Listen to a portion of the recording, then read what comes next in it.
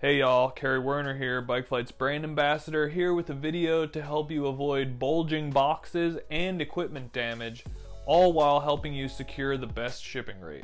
Ever try to pack your bike into a box and it seems like it won't quite fit? We find this sometimes happens, for example, when packing some mountain bikes or other larger bikes into a BikeFlights Bike Box Large. It's often because they tend to be taller and or have longer wheelbases. Not to fear. Over the years, BikeFlights has learned a few hacks to help you eke out a few extra inches safely and securely so you can pack your bike in the best box size possible. Here are a few tricks of the trade.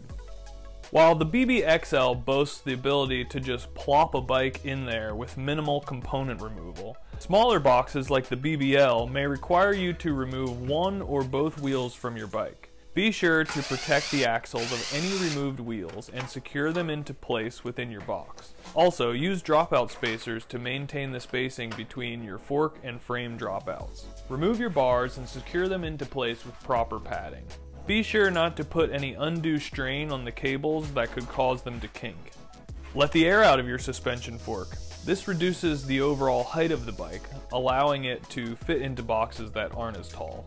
Let the air out of your rear shock. This reduces the bike's wheelbase, making it shorter and gives you a little bit of extra wiggle room in the length department. Note, if you let the air out of your suspension, don't forget to pack a shock pump so you can re-inflate your suspension on the destination side of your itinerary. Let some air out of your tires. Be careful if you're running tubeless not to let too much out as the tire could then become unbeaded, which could lead to a stand explosion in your box. Believe me, you don't want that. Again, if you let the air out of your tires, be sure to pack a frame pump or hand pump so you can re-inflate your tires on the ride side of your itinerary. Drop it like it's hot. if you have a dropper, that is. If you don't, either lower your post into the frame as low as possible or remove it and secure it so it doesn't move around in the box during transit, causing damage to other equipment. Remember to take any tools you may need for reassembly here. This becomes more important as you take more and more parts off your bike to make it fit into the box. Consider turning your fork 180 degrees. Forks have a rake, which puts the front wheel out in front of the bike. Mountain bikes have a longer rake than road, gravel, and cross bikes. By turning the fork 180 degrees, the rake will be pointing backwards, shortening the overall length of the bike.